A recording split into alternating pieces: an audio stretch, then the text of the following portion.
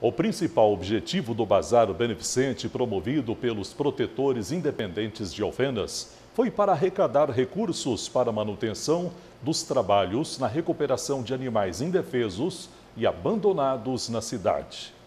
O Grupo Protetores Independentes de Alfenas dedica a maior parte do tempo a animais indefesos e abandonados e também daqueles que sofrem maus tratos e precisam de cuidados especiais. E é assim que essas voluntárias estão agindo para cuidarem destes animais. Quem são os protetores independentes dos animais? É um pequeno grupo, né, que nós nos conhecemos através das redes sociais e que juntamos as nossas forças para poder tentar amenizar um, esse problema né, enorme que está aí na cidade desses animais de rua. O nosso foco é a castração, né? Nós somos é, independentes por conta que cada uma de nós resgatamos aqueles animais que estão diante dos nossos olhos, né? Que o problema está ali, a situação está acontecendo.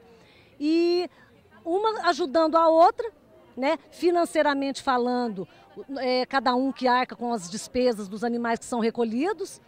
E agora, né, é, lógico, claro, evidente, com o respaldo de cada um quando a gente precisa, a gente está sempre se ajudando. Eu comecei a ajudar o grupo faz pouco tempo, mas o trabalho do pessoal é maravilhoso. Eles dispõem do, de todo o tempo que eles têm, às vezes tirando dinheiro do próprio bolso. Infelizmente, são poucas as pessoas que colaboram. A gente até faz um apelo para as pessoas puderem doar é, qualquer valor, ou ração, medicamento, roupinha, casinha. Ainda mais agora nesse frio, a gente vê muitos animais na rua, passando frio, passando fome. Qualquer doação, qualquer ajuda é muito bem-vinda. O trabalho é difícil, todo mundo sabe, mas é feito com muito amor e dedicação. A proteção, na sua maioria, ocorre com recursos próprios e com a realização de rifas e doações. Aqui em Alfenas aconteceu um bazar e a renda será para o tratamento de um animal que está necessitando de cuidados. E qual que é o objetivo né, desse bazar que está sendo realizado nessa manhã de sábado aqui em Alfenas?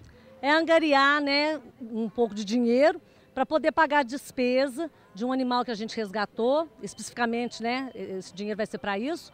É, o Chicão, ele estava com uma berneira horrorosa nas costas.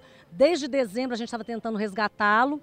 Aí, através de pessoas que iam ligando para a gente, porque a gente ia procurar, não achava. Era como se abrisse o chão e ele entrasse. E aí a gente conseguiu, graças a Deus. Ele está sendo atendido pelo doutor Agnaldo, que é um grande parceiro nosso, que nos ajuda muito. É muito gratificante, né? E o amor por eles é muito grande. E você vê um cachorro precisando, um animal que está precisando, seja um gato, o que for na rua, sofrendo, não tem como você ver aquilo passar e não, não ajudar.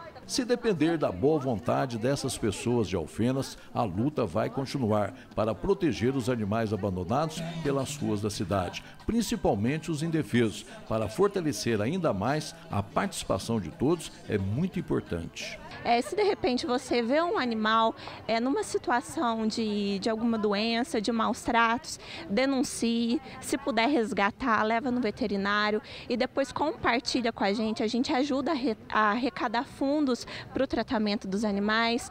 Mas é isso, é cada um tentar doar um pouquinho de si e fazer a sua parte.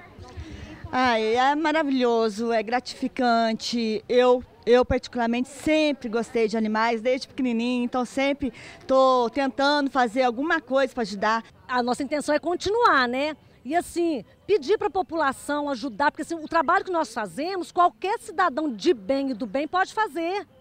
Nós custeamos os animais que a gente pega, que a gente recolhe, do nosso bolso.